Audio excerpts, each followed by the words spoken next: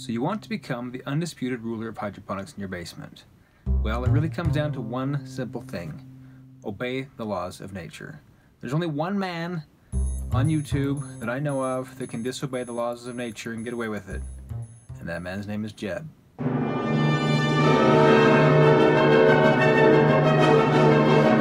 And the number one law of nature that he violated, by the way, was growing that disgusting looking radish. Jeb, if you're watching this, I'm sorry. Everything else you do is amazing, but that radish did not look appealing. I get a lot of questions from different people about, you know, what kind of nutrients should I use? What kind of container should I use? How often should I change the water? All sorts of stuff.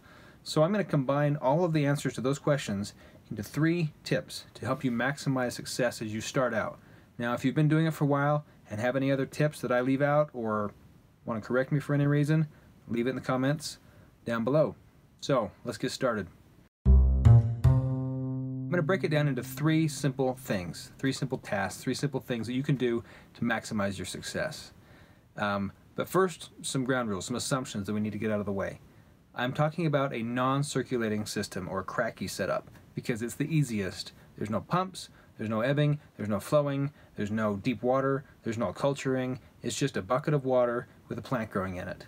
Two, I'm talking about lettuce because lettuce is the easiest thing to grow. It's very tolerant of mistakes, it's very tolerant of pH balance differences, it's very tolerant of different kinds of nutrients. It's just a very easy plant to grow. And third,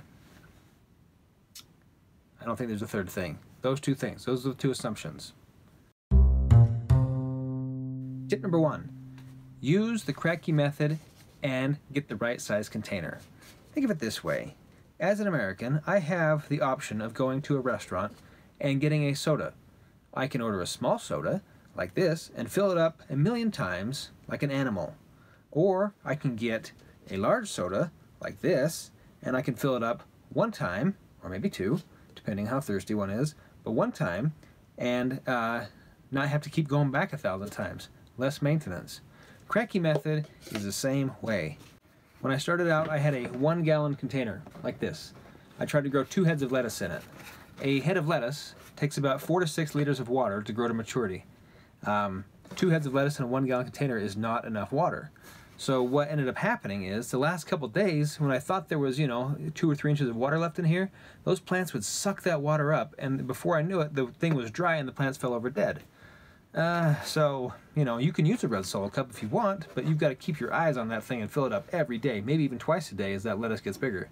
So if you use a bigger container like this, a three gallon container, uh, that's enough water to grow two heads of lettuce maturity and it works fantastic as you can see here.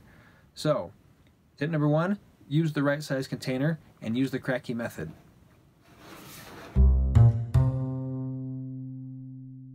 Tip number two, don't use Miracle-Gro. Get yourself some proper hydroponic nutrients. The reason why you can't use Miracle-Gro is because it doesn't have all of the nutrients that you need to grow a plant in water. Miracle-Gro is formulated specifically for growing plants in soil, it leaves out nutrients like calcium. It doesn't have as much magnesium in it. It doesn't have as much of the um, essential nutrients, the micronutrients that a plant needs. When you grow a plant in water, there's no nutrients in the water. There might be some trace nutrients, calcium, things like that, but for the most, for the for all intents and purposes, there's no nutrients in the water. So you have to you have to provide the complete set of nutrients for this plant to grow. Miracle-Gro leaves out a certain number of those nutrients because it expects those to be there in the soil. So there's a ton of people that have done videos comparing Miracle-Gro to hydroponic solution. Go check those out. You'll see that you'll get like a much smaller head of lettuce. So you can do that. I'm not saying you can't do it. I'm just saying if you want to maximize your, your to maximize your success, get yourself a proper hydroponic nutrient. All right, tip number three get yourself some lights. You're gonna need lights, I'm sorry to say. Unless you've got a windowsill or something that gets like four hours of direct sunlight a day or more, you're not gonna be able to grow lettuce without some proper lights. Uh, check this video clip out here. I grew, I tried to grow these two lettuce heads in mason jars, which is this too small of a container. I know it's too small of a container, but I just tried to see, tried to do it just to see what would happen. I put them by a window that is very bright, or I thought it was very bright, and they got super leggy. Like there's just not enough light, even by what you think is a bright window. So you're to need some lights. Now, this again kind of throws water on the notion that you can have a cheap $5 hydroponic setup. Well, that's true, but if you want it to grow, you're to need some lights. If you Google grow lights, it is going to blow your mind. There's like a billion different kinds. There's LED, there's CFL, there's your standard fluorescent tubes, there's uh, T5s, there's H, you know, high pressure sodium, low pressure sodium, all sorts of stuff. And you're just gonna go, I just want to grow some lettuce, man. What do I need to grow lettuce?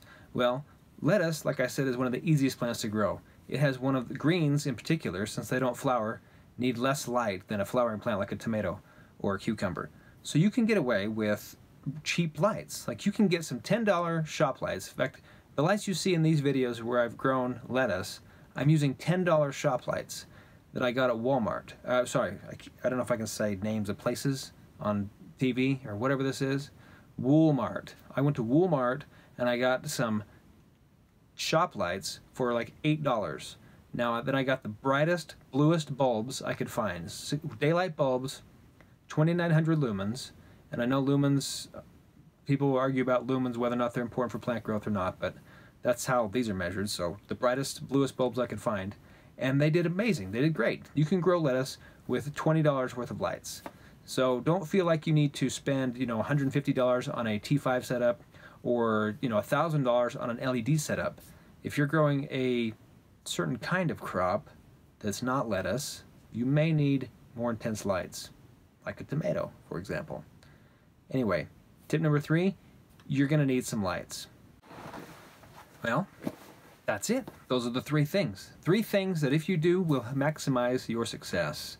If you use the Kratky method with the right size container, get yourself some proper nutrients, and give get yourself some proper lights, you will grow some awesome lettuce. Uh, so, like I, like I said, obey the laws of nature. Give a plant all the water it needs, all the food it needs, and all the light it needs, and it'll grow. So, thanks for watching. Likatil. And uh, subscribe, like, Snapchat your friends, Facebook, whatever, whatever you do. Thanks. Bye. That gives it the nitrogen, the potassium, and the uh, nitrogen, potassium, Drawing a blank here. What's the last one? Nitrogen, potassium, phosphorus.